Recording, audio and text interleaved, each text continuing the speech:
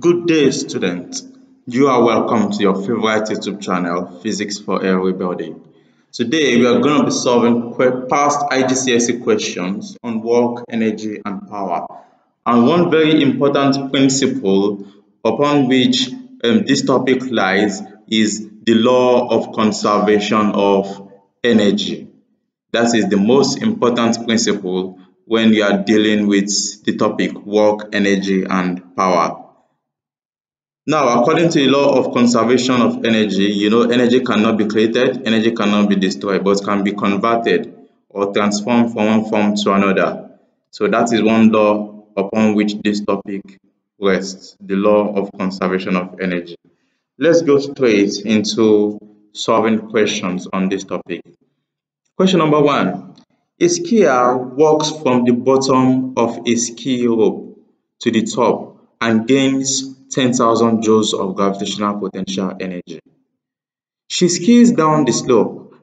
At the bottom of the slope, her kinetic energy is 2,000 joules.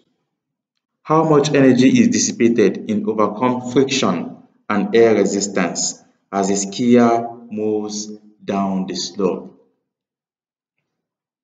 Looking at this question, a skier walks from the bottom let's assume this is the bottom okay? And then she walks to the top. Yes she walks to the top and gains 10,000 joules of gravitational potential energy. That means um this is the top. And at this point she has 10,000 joules of gravitational potential energy. Good this 10,000 joules of gravitational potential energy at the top. And now after that, what happens? What does she do? She, she skis down the slope. Now she's skiing down the slope this way. And at the bottom of the slope, that is at this point down here, her kinetic energy is 2000 joules. So she has just 2000 joules. You know, according to the law of conservation of energy, the energy at the beginning should be equal to the energy at the end. That means the energy at this point, which is at the top, should be equal to the energy at the bottom of the slope. Okay, but some energy will be used, some energy will be wasted along the line in overcoming friction and air resistance. Now, according to the law of conservation of energy, that means um, energy in the beginning which is gravitational potential energy, must be equal to energy at the end, which is the kinetic energy, plus the wasted energy, plus the wasted energy. That is what we have according to the law of conservation of energy. And if you draw the energy diagram or the Sankey diagram, it will look like this. So some energy will be wasted while the rest will emerge as the kinetic energy. This is kinetic energy. This is wasted energy that is used to overcome air resistance and friction. Why this is the gravitational potential energy at the beginning, in the beginning. So what you are looking for now, we are looking for what amount of energy is wasted. We have gravitational potential energy at the beginning as 10,000 joules. We have the kinetic energy at the end as 2,000 joules. So what kind of what amount of energy is wasted? Wasted. That is what we're going to solve right now. Okay. So let me just erase all of these unnecessary part of the question and solve the main problem. So the kinetic energy at the beginning equals sorry gravitational potential energy equals to kinetic energy plus wasted energy. What is gravitational potential energy? The gravitational potential energy is 10,000 joules. So I write here 10,000, 10,000 equal to kinetic energy is 2,000 joules. 2,000 plus wasted energy. Wasted energy is what we are looking for. Okay, so to get the value of wasted energy, I'll just move 2000 to the left hand side and it becomes minus. Okay, hence I can write ten thousand minus 2000 will give me the value of the wasted energy. 10,000 minus 2,000, that gives 8,000 joules. Okay, that means the wasted energy is 2,000 joules. Okay, you may express it like this. You just write wasted energy is equal to 8,000 joules. When you say wasted energy, we mean the amount of energy that is used to overcome friction, okay, in overcoming friction and air resistance, and the value is 8,000 joules. So, correct answer to number one is B. So, you shade B, okay, with your um, black pen or whichever color of pen you are using. Question number two. A coal-fired power station generates electricity. The coal is burned and energy is released and the energy released is used to boil water. The steam from the water makes the generator to move and this produces electricity. Which words are used to describe the energy stored in the coal and energy of moving generator? You see, moving generator, you know, automatically that's kinetic energy. Energy stored in coal, you know, that is that is what? Energy stored in coal. One form of energy is stored in coal? Chemical energy. Yeah, energy stored in fuel, all fuels is chemical energy. While energy stored in moving objects, energy possessed by moving objects is kinetic energy. That means option B is the correct answer, okay? For coal, we have chemical energy, and for moving um, and for moving generator, the generator, parts of the generator that in motion possess kinetic energy. Question three. Four different children run up the same set of stairs. For which child is the useful power to climb the stair the greatest? Mass of child in kilogram and we have time in seconds. Do not forget that the formula for um, gravitational potential energy is equal to mgh, right? And um, power is equal to the energy, in this case the energy is gravitational potential energy, energy divided by time, okay? And they are looking for when power is greatest. Power is greatest when the numerator, was that's when gravitational potential energy is high, okay? And when the time is low. Yes, when the numerator is high and the denominator is low, then the value of the fraction will be high. So we want the gravitational potential energy to be high and we want the time to be low. So let's look for which option gives us a high, a high gravitational potential energy and low time. Okay, so this column gives us time. The column on the left gives us mass, not gravitational potential energy. But you know from the formula for gravitational potential energy, when mass is high, it means gravitational potential energy is high. So we are just looking for the one that gives us high mass, high mass, okay, and low time. That's all. So when is mass high?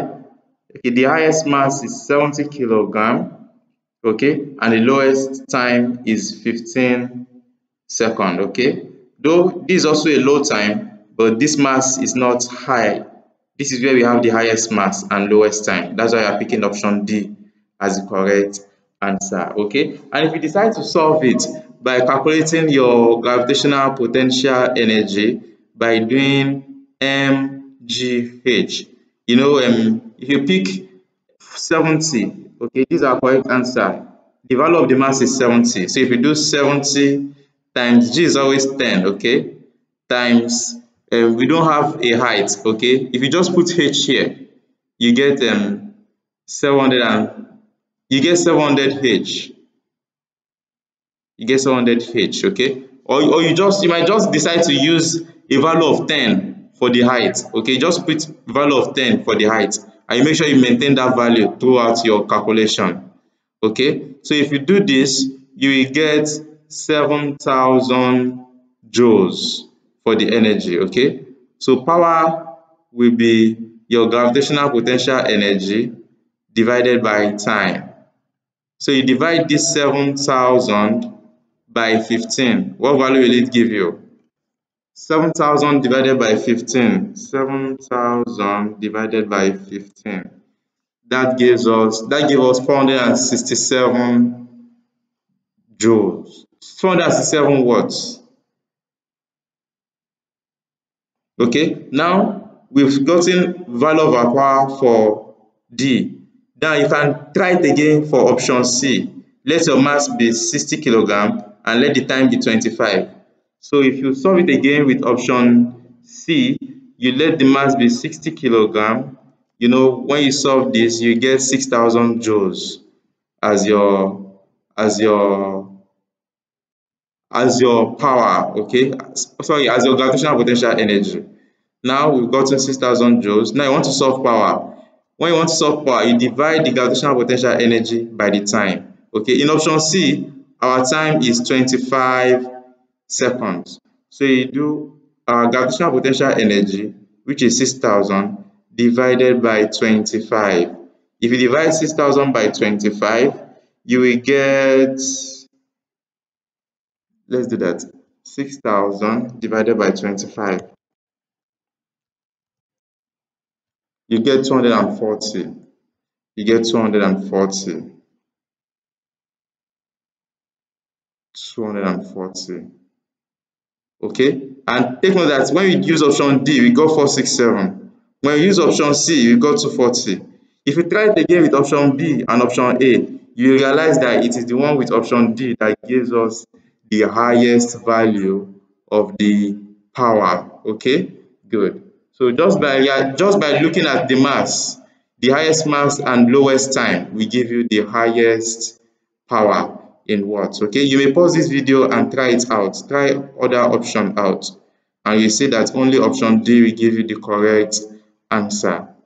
So that is end of that um, calculation. Let us move straight to question number four. Question four says, which energy source is one that is used to boil water to make steam in power station. Okay, boiling water, you know that requires heat, right? Good. Energy from tides, no, that does not require heat. That only requires the sun and the moon. Energy from waves, no. Energy from waves is as a result of um, the, the different temperatures at different um, regions of the earth. That causes waves, okay? Good. Hydroelectric energy no, that's energy from water at a certain height, okay? Energy in a dam. Nuclear energy, good, that's one that requires heat. Take note that I, I said that for, for you to boil water, you need heat, okay? Nuclear energy produces heat. So that makes option D the correct answer, okay? Because that's the only one that requires heating. So you shade option D, okay? Good. Let's move to the next one. Question 5. In a factory, Two men, X and Y, try to move identical heavy boxes P and Q. The man X tries to push the box B along the floor. The box does not move because an object is in the way. Man Y lifts box Q from the floor onto a shelf. Which man does the most work on the box and which box gains the most energy. You know, in order for work to be done, um, from the formula for calculating work, work is equal to force multiplied by distance. So for work to be done, the object must move a certain distance.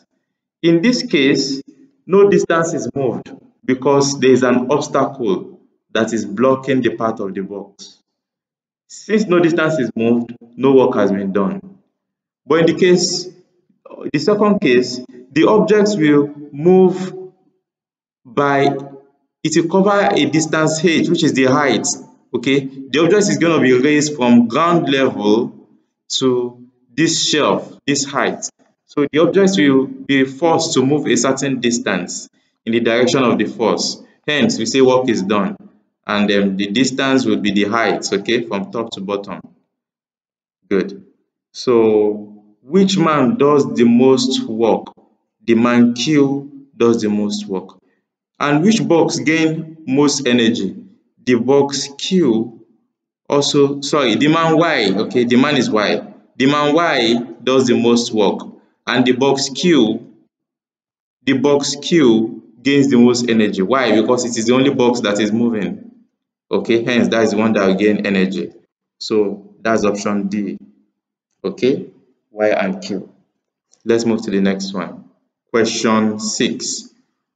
Question 6 says, which energy source is renewable and reliably available at all times? Is it coal energy? No, coal energy is not renewable. Geothermal energy. Geothermal energy is renewable, but it is not available at all times. So it's not that. Nuclear energy. Is nuclear energy renewable? No, nuclear energy is not renewable. What about wind energy? Is wind energy renewable? Yes.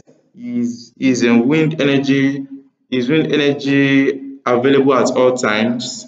Ah, wind energy is now available at all times. Now let us revisit our option again.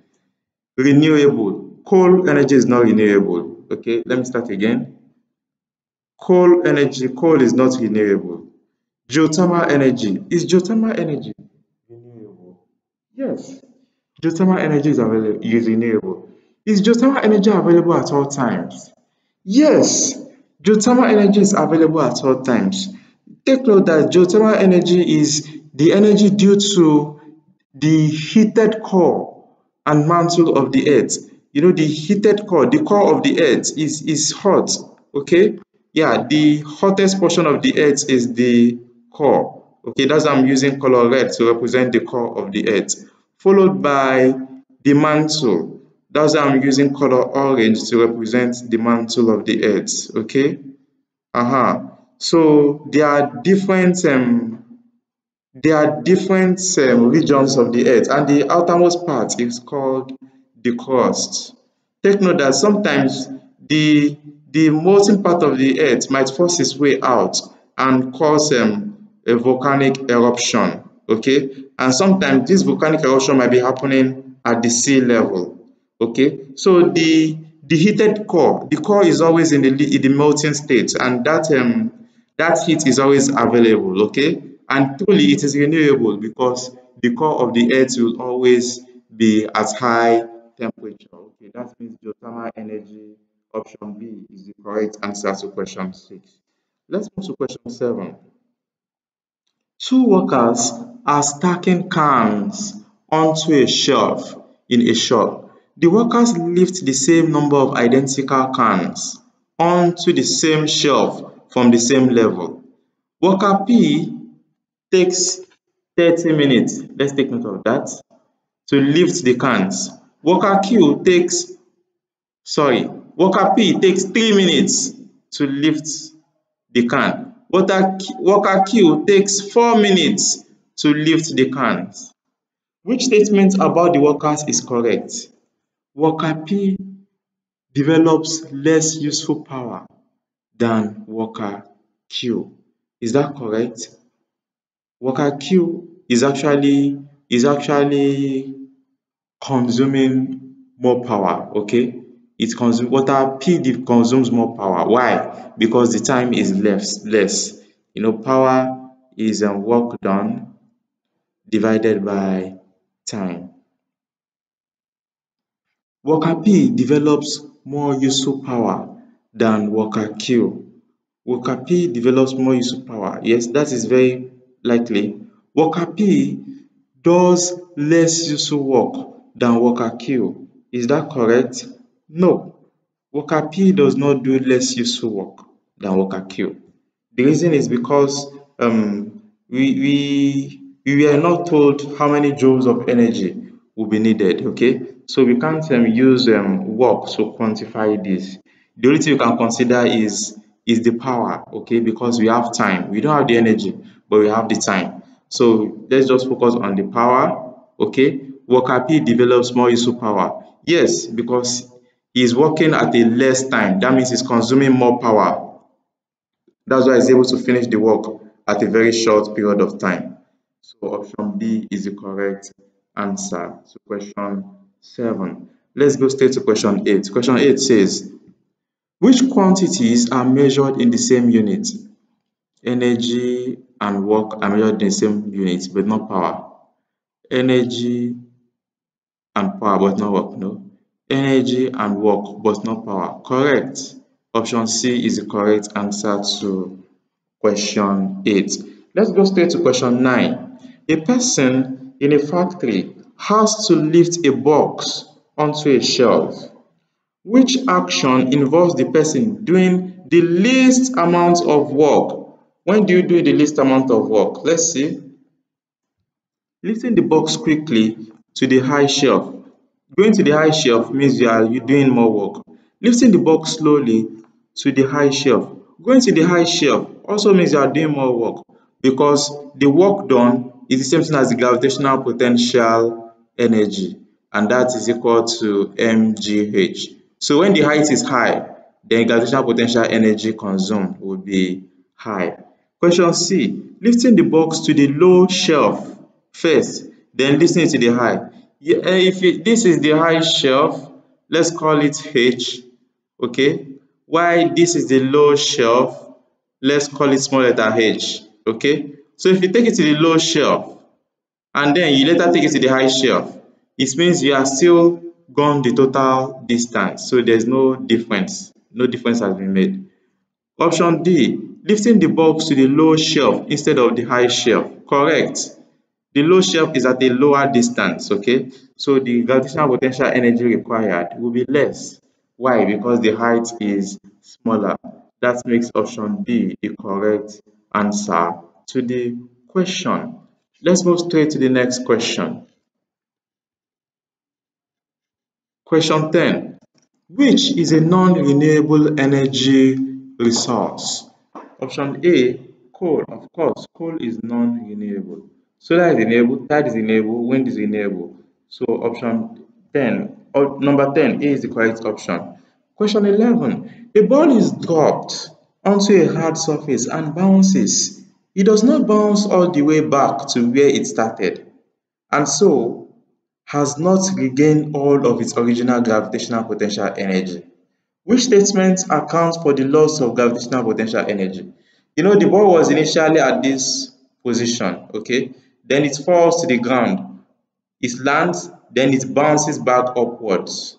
Now, Yes, now when it is bouncing back upwards, it's supposed to attain the original height back, but no, it attains a smaller height, okay, and then returns to the ground, okay? It returns to the ground, hit the ground, and bounce upward again and attain a smaller height, okay? So the process continues on and on and on and on and on. What is causing this reduction in energy is, is due to wasted energy, and wasted energy will be in the form of drag, Air resistance. Let us see the option we have. Energy was destroyed as the ball hits the ground. Energy cannot be created. Also, energy cannot be destroyed. Option B. Energy was destroyed. Energy can never be destroyed. Option C.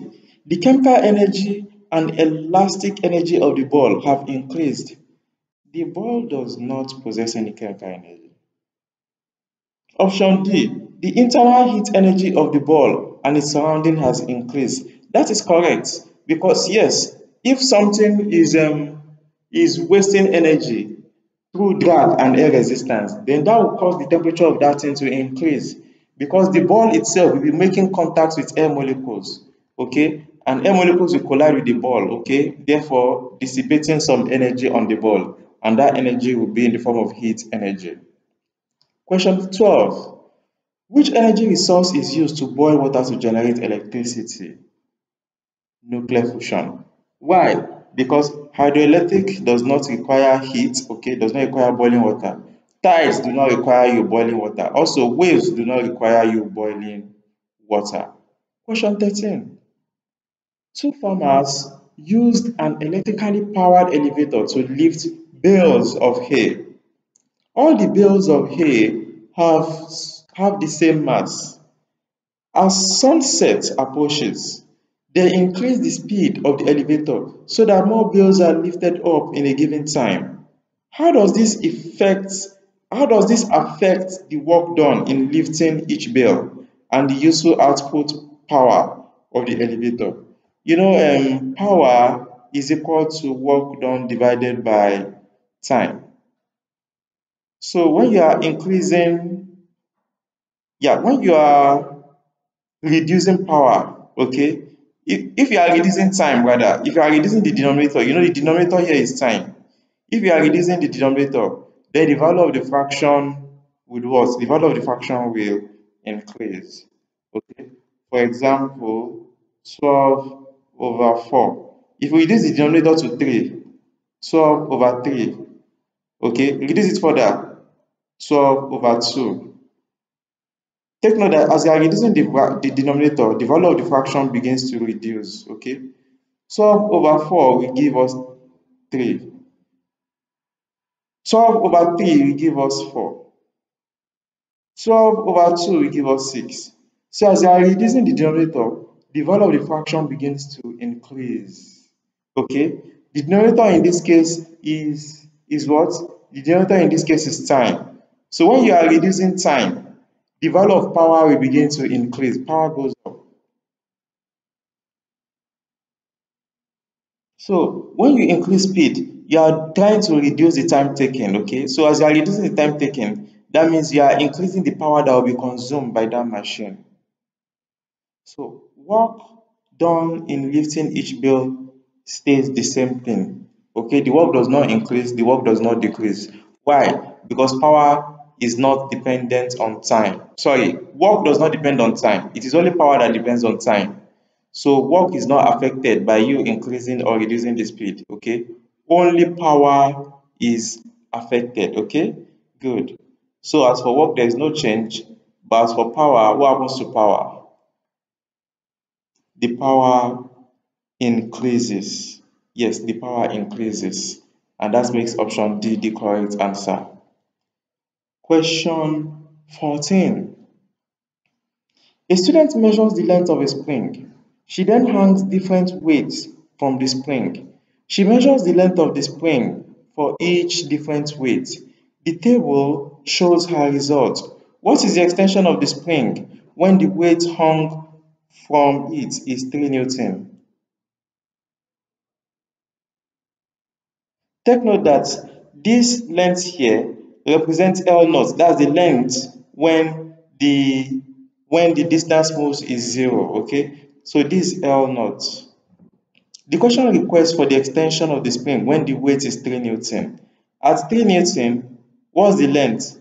533, right? So extension will be the length at 533 minus length when no load is applied. Okay, so that will be 533 minus 20. Sorry, 533 minus 520. And if you do 533 minus 520, if you do 533 minus 520, you will get you get 13. Yes, you get 13 millimeter as your answer, which is option D. Now we are going straight to question 15. Question 13. Which energy resource is used to generate electricity without using any moving parts? Geothermal? No. Hydroelectric? No. Nuclear? No. Solar energy? Correct. Solar energy just requires the solar panel. Question 16. Which source of energy involves splitting of heavy atoms? Okay, when you are splitting heavy atoms, that is um, nuclear energy. Okay, it takes place in the nucleus of the atom. Number 17. A cyclist travels down a hill from rest at point X without pedaling. The cyclist applies his brakes and the cycle stops at point Y. Which energy changes have taken place between X and Y? You know, at X, the cyclist is at a, at a certain height above ground level. At a certain height H, okay? Good. At Y, Y is ground level, okay? Y is ground level. So at X, it possesses gravitational potential energy because it's above the ground. Okay, and while it's moving, the form of energy it possesses would be kinetic energy. Okay, because it's in motion. And here, when it eventually stops moving, what happened? The the kinetic energy ha has been converted to heat due to friction. That is how brakes work. When you apply the brakes on your car, okay, friction will be produced and that friction will produce heat energy. Okay, good. So that means option A is the correct answer So question number 17. Let's go to question 18. Question 18 says, to calculate the power produced by force, the size of the force must be known. What else needs to be known to calculate the power? You know, the formula for power is work done divided by time, right? Or you say energy divided by time. Now, take note that work done itself is force times distance. So you can say power is equal to force times distance divided by time. So once you know the once you know the force, what else do you need to know? You need to know the distance over time. Alright, let's go. So to calculate the power produced, the size of the force must be known. What else needs to be known to calculate the power? The distance moved. So the distance the force moves, okay? The distance the force moves the object, that's correct. Okay, also the time for which the force acts on the object. That's correct. So that is option A. Okay, because you need to know the force, you need to know the distance, and you also need to know the time. That means option A is correct. Okay, good. Question 19. Which form of energy is used to generate electrical energy in a tidal power station? you know the tidal power station it, it works based on on the advantage of um, tide yeah and uh, let's assume this is um the normal water level okay? So we create a barrier. Let me use um the color blue to represent the barrier. So we create a barrier at a point like this okay? Yeah this is the ocean okay? Or you say the sea. And the, the, we create a barrier here okay? So this becomes our own dam okay? Let me use another color let me use color black to represent our dam. So this represents our own dam. Okay and then we create an outlet here. So um yes so when the water comes out from here it will be driving the motor here to generate electricity. But when the tide when the tide now um when the tide appears that means um when the tide tide is high. The water level will now rise to a higher value. Okay that's this value. And when the water level rise to this value what happen? Water will will will fill up this dam. Okay take note that this is the dam. Water will fill up this dam. Now when the the tide when the level of the tide when it now goes down what happen? The water level will now will no longer be here. It will go back down. But as the water level goes down the water in the in the dam remains high because of the barrier that stops it from going. So the tide has helped us to store water in the dam. Okay? Good. So which form of energy is used to generate electrical energy? The form of energy used to generate electrical energy is gravitational energy, okay? That's gravitational potential energy. Yes, because the water level in the dam is now at a certain height above ground level, and that's gravitational potential energy. Question 20 says, four different model steam engines, each lifts a 1.0 kilogram object from the same laboratory floor to the same laboratory bench. Which engine takes a different time to lift the object? Also, how does the most powerful engine compare with the other engines? Now look at it. Option A, speed of lifting objects into the bench is faster, okay, um, and useful, more useful work done more than the other engines. The question says, how does the most powerful engine, so if it is the most powerful engine, then it will be faster, okay?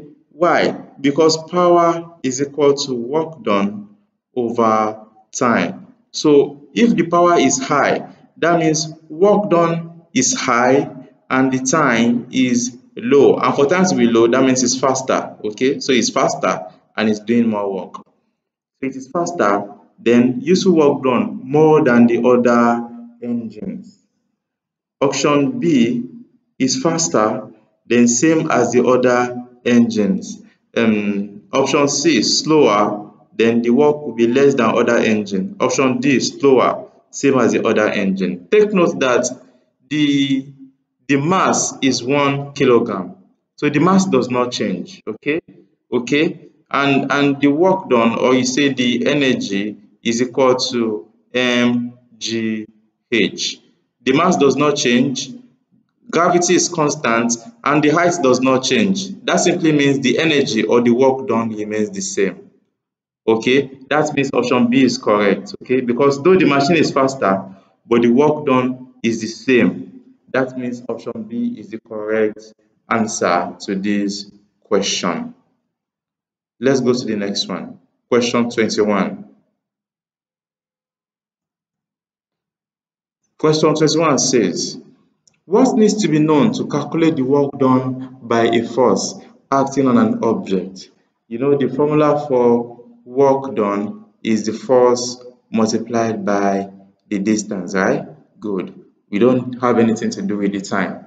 So option A says the size of the force, then the distance the force moves the object. That is option A. And okay, it also talks about time. No, we don't need that um, option B says the force and the distance. So option B means it talks about force and distance. That's the correct answer. Okay, because you don't need the time. So we go straight to question 21, 22. The electrical energy may be obtained from nuclear fission. In what order is energy transferred in this process? Okay, so for you to obtain electrical energy in nuclear fission, in what order is energy transferred? Okay, in the process of nuclear fission. Now, option A, we have um, nuclear fuel. From nuclear fuel, the energy goes to the generator, and then from generator to the reactor. No, no, no, no, no. Option B, the nuclear fuel energy in nuclear fuel goes to generator. No, that's not correct. Option C, nuclear fuel from nuclear fuel to the fuel to the reactor and boiler, yes, and from reactor and boiler to generator and to turbine, no. Option B, from nuclear fuel to the reactor and boiler, and from reactor and boiler to the turbines, and then from the turbines to the generator. That is the correct answer, and that is how um, nuclear energy works okay so nuclear from the nuclear fuel so energy from nuclear fuel goes to the reactor and boiler. So it is the reactor and boiler um it is the reactor and boiler that will be used to to boil water okay? So water has now been boiled and water is at a high temperature and pressure okay? High temperature and pressure and that is steam. That steam will be used to drive the steam turbine. Okay, so from the reactor and boiler to the turbine. Okay, so you drive the steam turbine. Okay, and that steam turbine is is connected to the generator. Okay, good. So that means option D is the correct answer. 23. Question 23 says, a car is stationary at the top of a hill with the engine switched off. The brakes are released and the car rolls down the hill. At what labeled point does the car have the greatest kinetic energy? You have to ignore friction.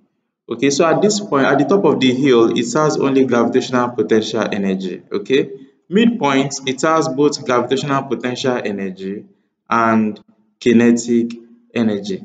But at the bottom of the hill, it has only kinetic energy, okay? Take note that at the bottom of the hill, all the gravitational potential energy at the top must have been converted to kinetic energy at the bottom. Hence, the kinetic energy at the bottom is highest, okay, is maximum. So that gives um, option C as the correct answer to question 23, okay? Because that is where we have the greatest kinetic energy. So you just shade option C. So we go straight to the next question. We shade option C. Question 24. Which role gives the energy changes in a battery and the energy changes in a solar cell? A battery converts a battery converts chemical energy to electrical energy. While a solar cell converts solar energy okay to electrical energy okay? Take note that solar energy is also called light energy. So that means option b is the correct answer. Yes option b that's when chemical energy is converted to electrical and light is converted to electrical energy. Question 25 a helicopter takes up from the ground and rises vertically. It then hovers at constant height above the ground. Which sequence of energy changes takes place during the gain in height? You know, um, the helicopter, the, let's assume this helicopter. So the helicopter initially at rest. So what form of energy does the helicopter possess at this point? It's just the energy stored in the fuel. The energy stored in the fuel, and that is chemical energy. Okay, so initially it has chemical energy. Now, the blades of the helicopter begins to rotate, and as the, blade, as the blade begins to rotate, what happens? The helicopter takes off. Okay, it lifts, it goes upward okay? So let's assume let's assume this is the helicopter this is the blade. Now when the helicopter takes off what happen? Once it takes off it is at a certain height above the ground level. It now has this height h above ground level. That means at this height it possesses what form of energy? It possesses gravitational potential energy. It's clear right? Good but before the aeroplane goes upward, take note that the chemical energy in the fuel, the chemical energy in the fuel will be used to make the blades rotate, right? Good. It is the rotation of the blade that now leads to it going upwards. Okay, so let's focus on the chemical energy making the blade rotate. When chemical energy makes the blade rotate, then the rotating blade possesses kinetic energy. So the order is that chemical energy in the fuel will be converted to kinetic energy, which is the rotation of the blade. While that rotation of the blade will cause it to lift and give it the gravitational potential energy. So from this, we see that the correct answer to question 25 is B, because chemical energy will be converted to kinetic energy, and the kinetic energy will eventually be converted to gravitational potential energy. Let's go straight to question 26. Question 26 says, four people of equal weight on a bench use different routes to get to the top of a seawall. Which person produces the greatest average power? Option A, runs across the bench, then climbs the ladder. Option B, walks across the bench, then climbs the ladder. Okay, we have the time taken for each Option C runs up the slippery way and it takes 5 seconds. Option D walks up the slippery way, slippery, walks up the slipway and then takes 10 seconds. Well, the correct answer to that is the one with the smallest time taken. Why? Because um, the work that is being done in this case is being done against gravity. That's in going upward. That's the direction in which work is being done against gravity. Okay, so we are focusing only on the vertical distance, which is the height. And for all of them, they are all covering this vertical distance. Okay, they are all moving against gravity. Whether you walk this way before climbing upward, okay, or you just go straight before you, both cases you arrive at the top here. Okay, so we are not going to focus on the route you take. We are only going to focus on the time taken. Now let's focus on the time taken. Which one has the smallest time taken? C has the smallest time taken. Hence, this is it is C that uses more power. Okay, the greatest power is produced by C because that's when we have lowest time. Take note that power is energy divided by time. Hence, for power to be high, the time must be low. When time is low, then the power is high. And when time is high, then the power is low. And it's it's reasonable in real life setting. Okay, when you are trying to spend less time in doing a work, then you are spending more power. For example, if you want to walk from your house to school, if you are spending less time in going from your house to school, that means you ran from your house to school.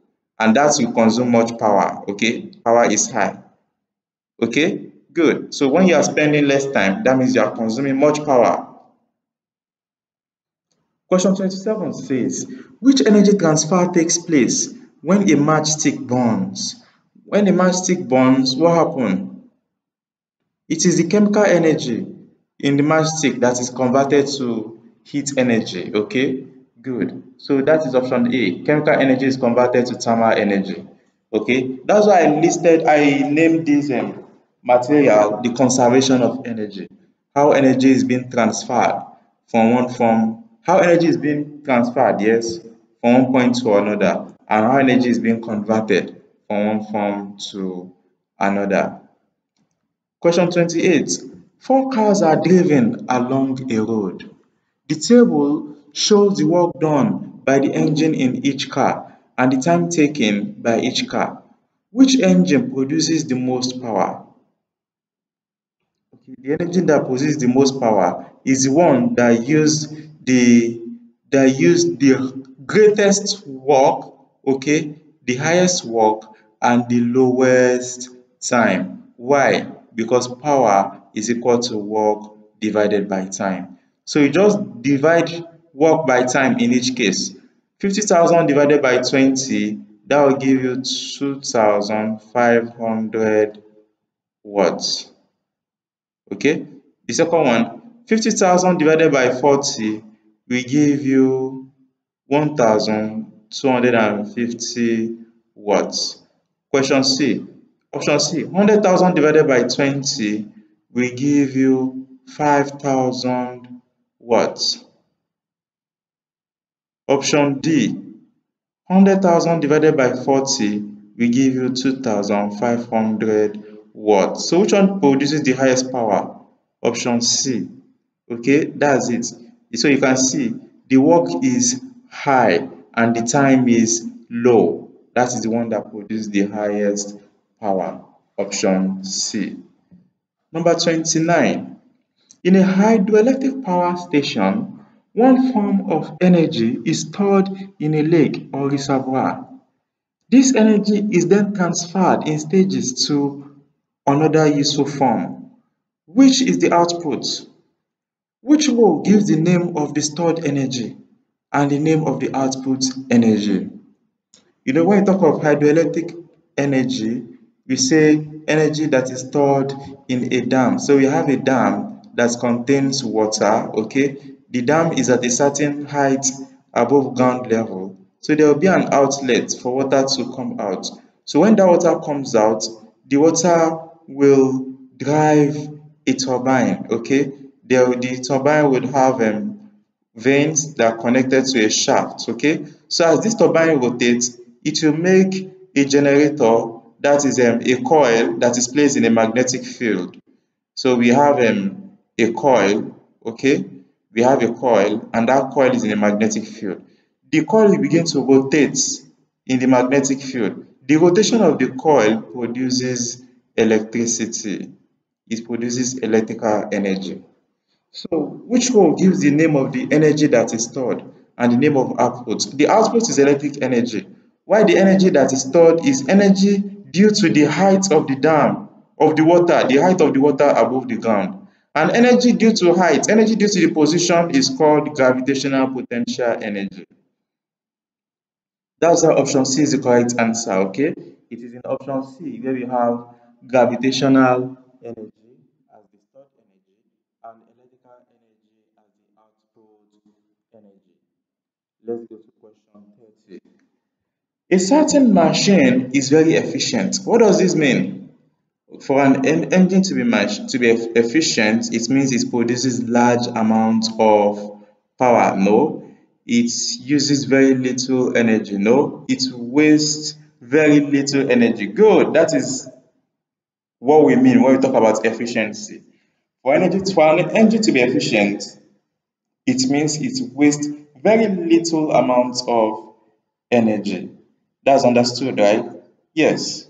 Very good. So thank you very much for listening. This brings us to the end of the lesson. We'll continue in the next video. Thank you.